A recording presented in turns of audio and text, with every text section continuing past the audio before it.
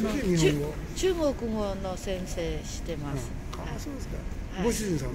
主人は別の仕事で大体日本語わかります？えー日本人です。あそうですか。なんや。ででも堺のことは、あの包丁？包丁が有名でよく。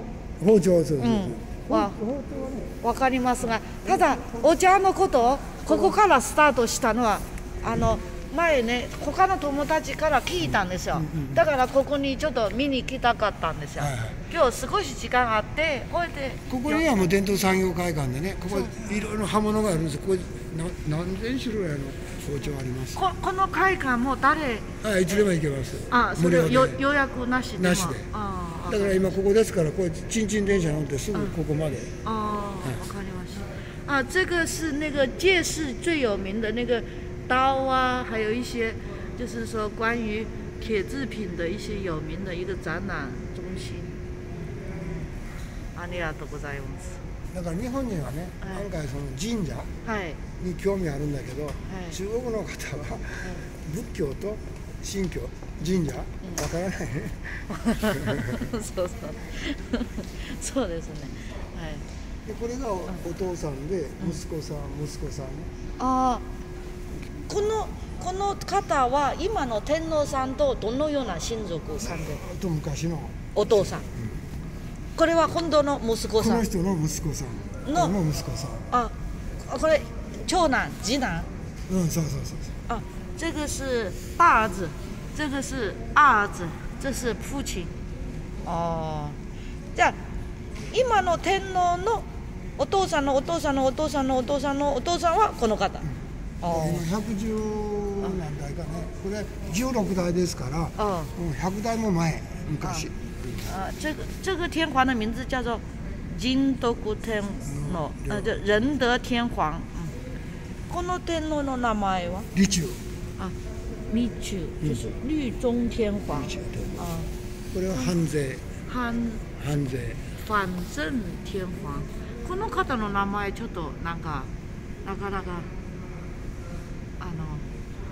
正しいことを反するという意うんそうですね。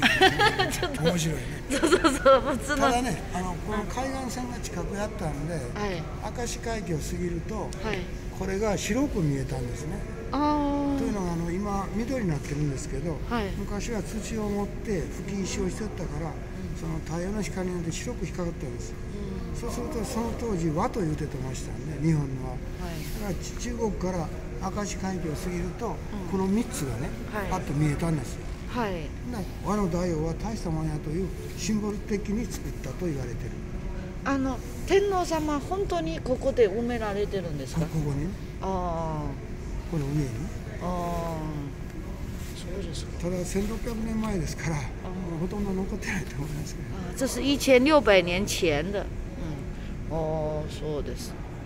でこれ平面ですけどここちょっと20メーターぐらい高いんです海岸から。高台の上に建てられてるから、中国から来られて明石海峡を過ぎると、これがバッと白く輝いて見えて。でその当時朝鮮はコープリとか百済とかですけど中国はその南北時代のみんな国内で戦争してた時代ですから。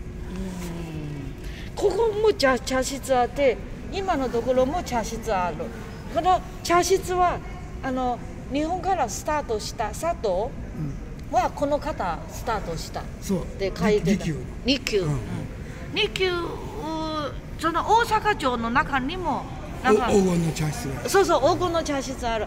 それはこの茶室と大阪城の中の茶室ど全然違う。わどち？らの方が古いここっち？の方が古いあここっちの方が古い、でここにね啊，あの。这个千利休屋的茶室是日本最老的茶室。そこ。にねあの京都にある山形にある国宝の大安をあのも持ち持ってきて同じの設計で建て替えた大安があります。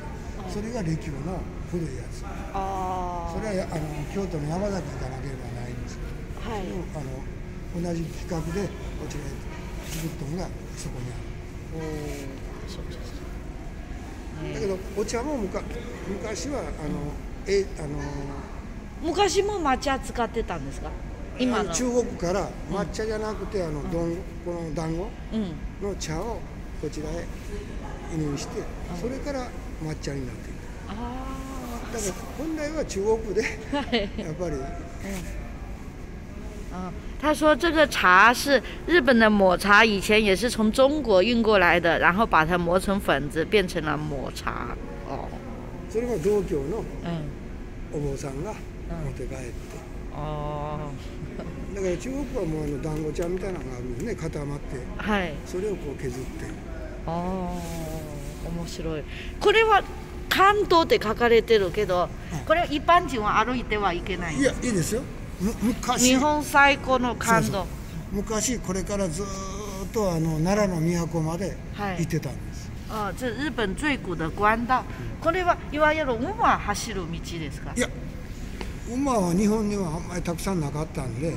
馬も人も歩きますあだからこのずっともうちょっと向こうにあの大阪からずっとあの中国から来て県大使なんか来るとずっと大阪からここへ来てこれからずっと行って奈良の方へ行った。あ、あで感動と言われて。あ、そうかそうか。面白いでしょ？そう。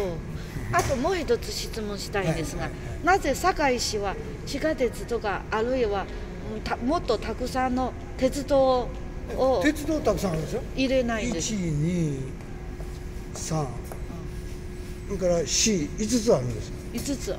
このこれは縦でしょ？よ横はない。よくはないというのはう全部大阪へ大阪へとんうん。集まって行ったんですああ。だから。昔はね、はいこういうふうにこうずーっと奈良に行く道があったんですよはい。だから坂に集まってきたんやけど今はもうずっとこれが大阪へ縦の線しかなくなってああ。残念なことにああそうですね。